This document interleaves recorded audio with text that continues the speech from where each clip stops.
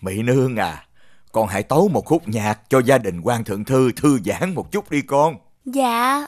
Trước nay được nghe con gái đại quan cầm kỳ thi họa đều tinh thông, nay được mở mang tầm mắt. Tiểu nữ không dám à. Chỉ là chút tài mọn, xin gia đình quan thượng thư đừng cười chê.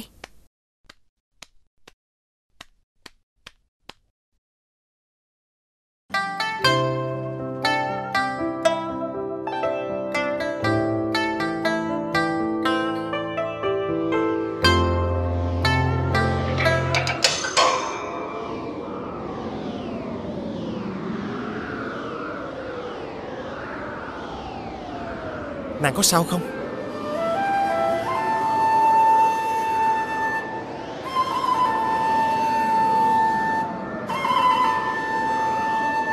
Trời sắp mưa rồi.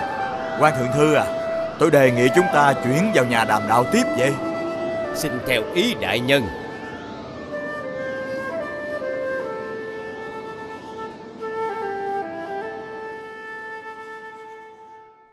Thưa lão gia Lão gia Trương Chi Trương Chi Người hốt quảng la lối cái gì vậy? Tiểu thư không muốn nghe đến tên của hắn nữa đâu. Dạ thưa lão gia Trương Chi Trương Chi Trương Chi chết rồi Hả?